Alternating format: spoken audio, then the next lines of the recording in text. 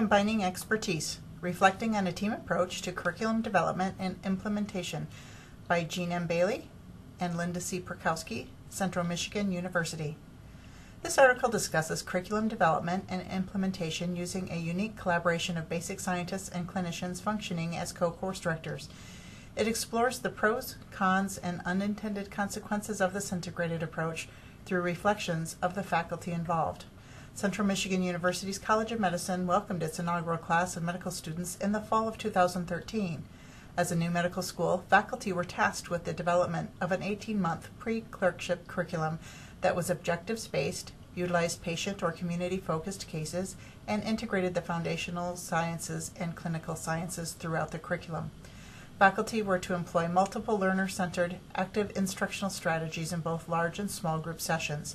Specifically, the curriculum consisted of a semester-long Foundational Sciences of Medicine course, seven organ systems courses, a capstone synapse course, and three longitudinal courses. During the curriculum development process and later during the implementation of the curriculum, faculty worked in assigned teams composed of basic scientists and clinicians.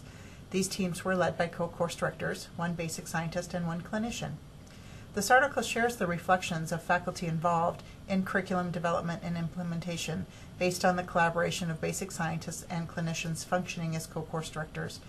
Through semi-structured interviews, the faculty address the pros and cons of this approach and highlight the unintended consequences resulting from this collaboration.